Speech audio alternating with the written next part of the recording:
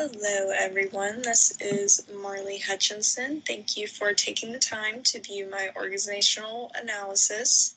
Um, today, we are going to be diving into the persuasive messages of the Lemon Tree, which is a beauty shop and hair salon um, in Buffalo, West Virginia, which is about 20 minutes away from campus if you're unaware.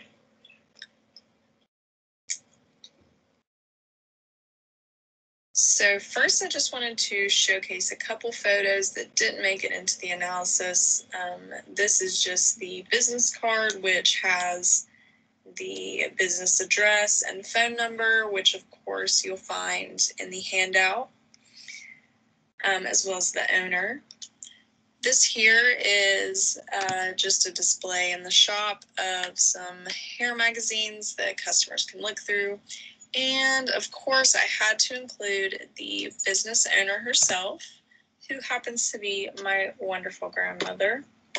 So I do have a lot of experience or existing knowledge um, about the shop. Um, I've been going there for as long as I've been alive. She's always cut my hair, so I was very excited and very um, ready to get started with this project and spend that time with her.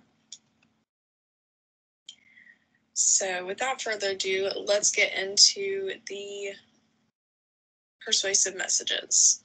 So the first message we have is a Google review. Um, if you go to the Google reviews page for the lemon tree, you'll find a five star rating um, and two different reviews. But I, what I really want to focus on is the one that um, details with the, the uh, includes an actual comment.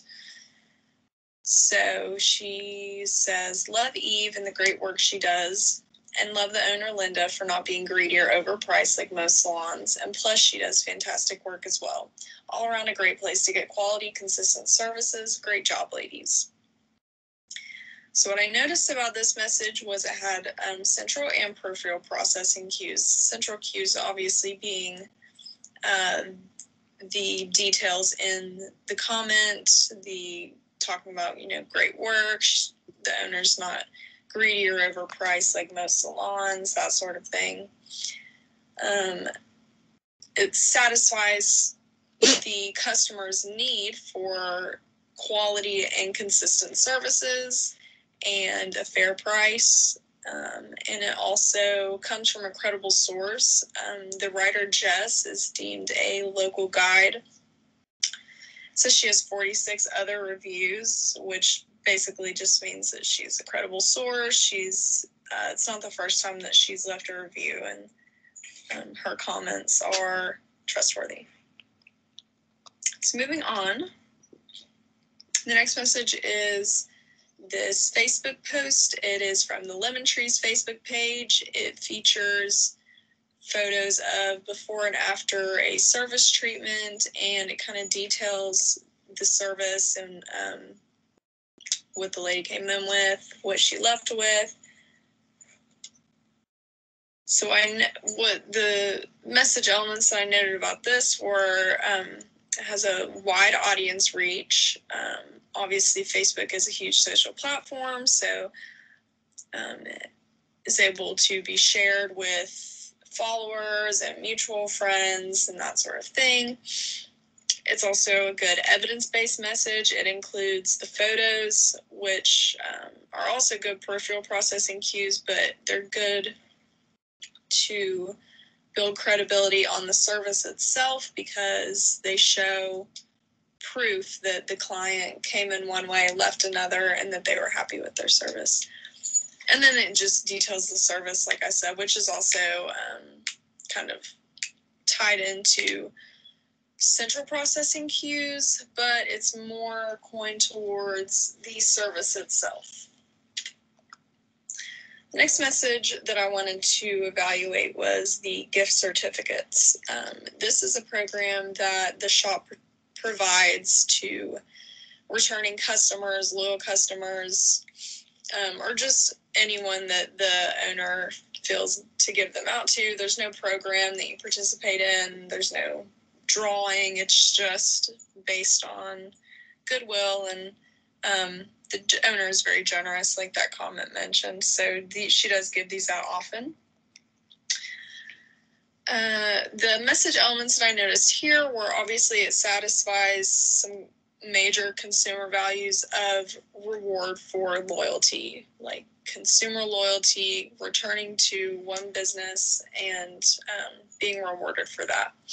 It also strengthens the customer relationship because it provides them um, an incentive to come back and um, that like i said that goodwill it just kind of helps build the relationship and establishes it on solid ground um, it has both cent- has central processing cues, which I would say would be the monetary value, and then the peripheral processing cues, which really happens um, through narrative transportation because to get these, you have to be involved in a situation where you're going to the shop and then you get the gift certificate and then you have to return to the shop and provide it. So you're involved in this um, sort of process with the business now.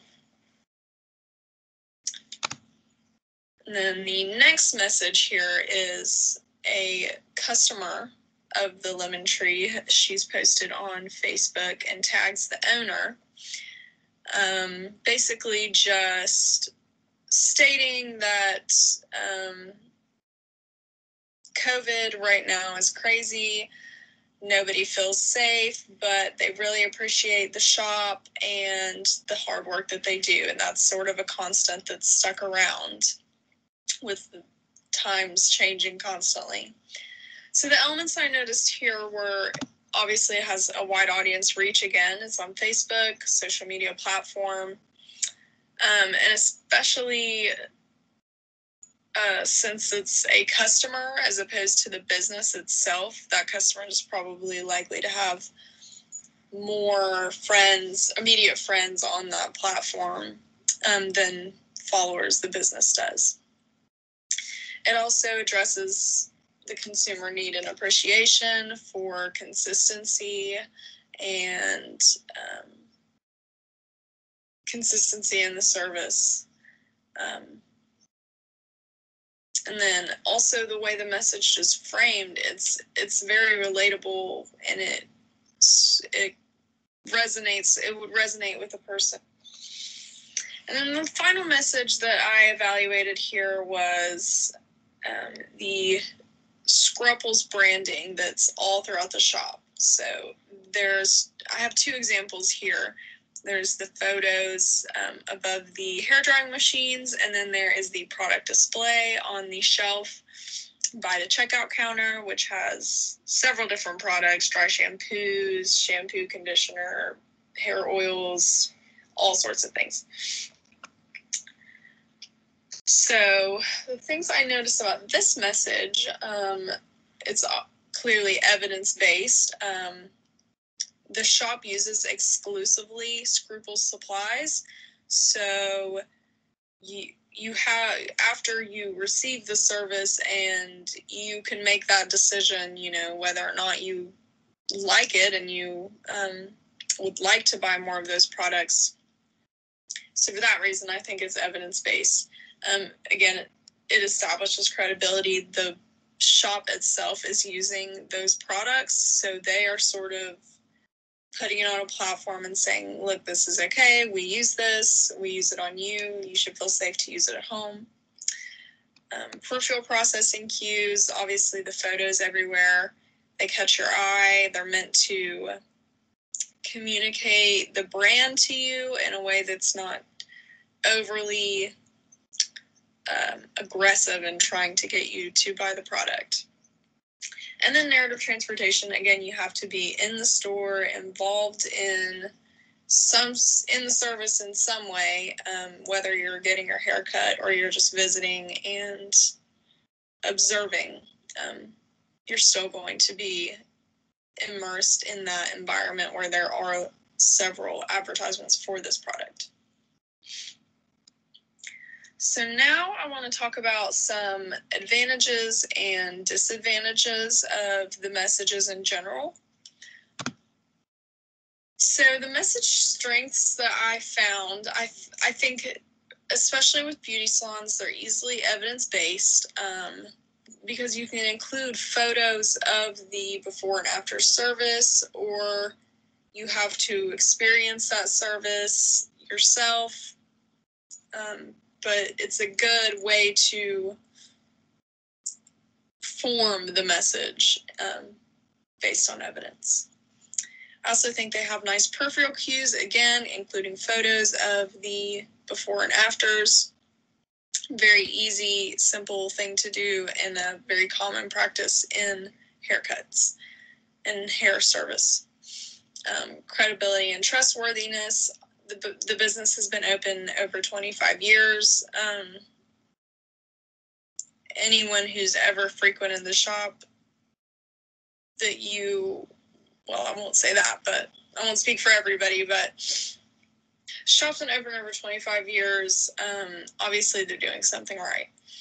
Service and customer oriented. Um, the messages, whether they're from customers or the business itself or just reviewers, they all establish that the business meets major customer desires. They satisfy their needs, they satisfy their wants, and that they're extremely customer oriented.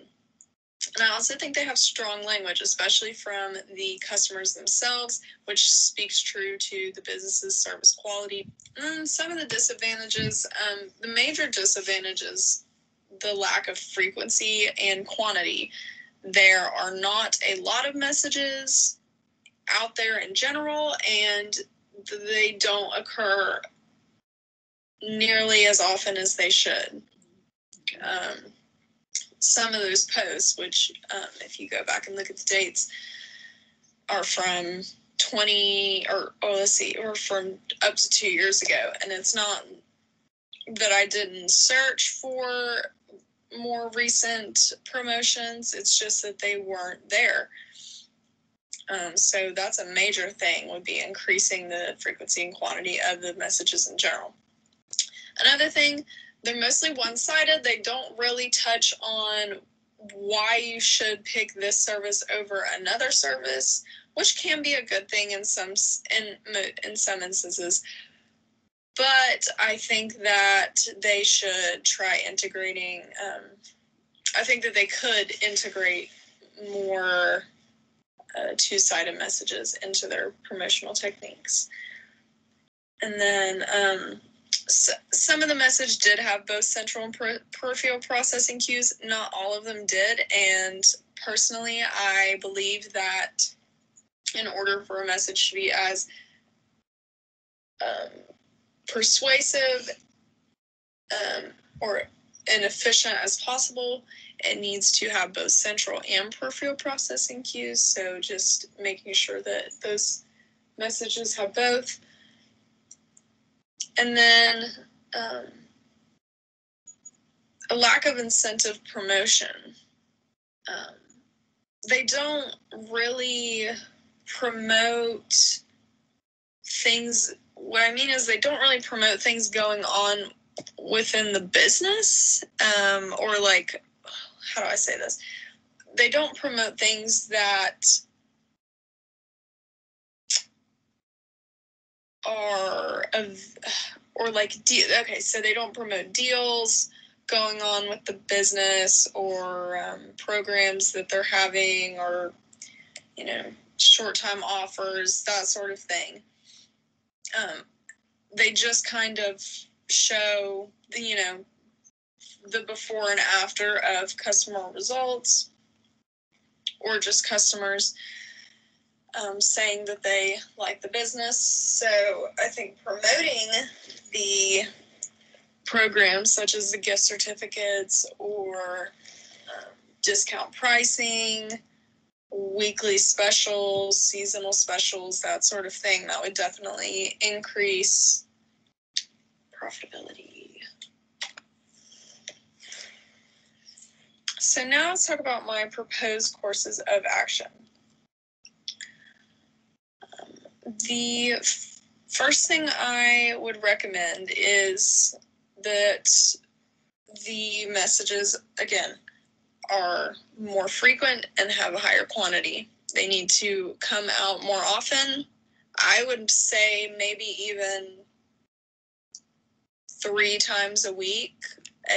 I mean, some businesses do more. This business, I know she um, doesn't have a lot of extra time to dedicate to that, but I think three three to four promotional messages are just like checking in. Hey, we're still here. We're the lemon tree. Hi. Um, that would be something that's not very time consuming and would definitely help to increase brand awareness. The second thing that I would recommend is to utilize more centrally processed information. Like I said, um, there's a lot of peripheral cues. They're very easily evidence based because it's so easy to take a photo of your hair before, take a photo of your hair after the service, or your nails, or um, facial hair, I guess, uh, and say, you know, look at look at this. This it was a success, but it's all. But not every consumer is looking for that. A lot of people want details. They want um, specific like style information, product information, um, service information, all those sorts of things. So utilizing more of that, I think, would be um, a good step for the business to take in order to increase their awareness and increase customers. And then the third and final thing um, that I would recommend to them is that they influence their customers to promote the service quality received. So a lot of, or a couple of the messages that I evaluated were from customers themselves. The business doesn't pay those people to say anything. It never pays their customers to um, promote the business in any way. Um, but they also don't really request that the customers do. And I don't think it, it would be such a bad thing for them to uh, just say, hey, you know, if you don't mind, uh, if you if you're happy with your service, you know, post this on your Facebook and tag us, and we'll maybe post you on ours. Um, something like that would be a good way to get people um, involved in the business. It would help to build relationships because there's that personal interaction after the service, but then it would also um, help to just increase the audience reach of the message and uh, customers, which is always a great thing, of course. So, in sum, um, I really did enjoy this project. I I, I really um, appreciate the chance to use school to spend a little bit of time with my mamaw. Um, but what I really learned from analyzing um, her business was this like newfound appreciation for her as a businesswoman because she really gets so much done in a day it blows my mind so um, I am extremely grateful for her to that. And in terms of the persuasive messages, um, I what I found is after taking this course, I look at advertisements, media, messages, anything. I look at everything and I analyze it as if it were this project. So I'll take a message and say, um, does it have central or peripheral processing cues or both? How's the language? Is it like, does it resonate with me? Is it strong? Um, is it evidence based or is it just kind of fluffing? Did I come upon this or was it brought to me? Um, just several different ways of looking at these messages. I think that by doing that, I'm able to sort of better delegate what, well, in my opinion, better delegate what brands I think or what business or service I think deserves my participation, my money, my support. So, um, yeah, I really, I really have enjoyed uh, this project. It's given me a lot of insight on how businesses create pro- promotional messages um, and the sort of background that goes into all of that. And it's a lot deeper than I would have ever imagined, but it's very interesting, very interesting. So, thank you so much for taking the time again to listen to my presentation. And um, I hope you liked it and have a nice day.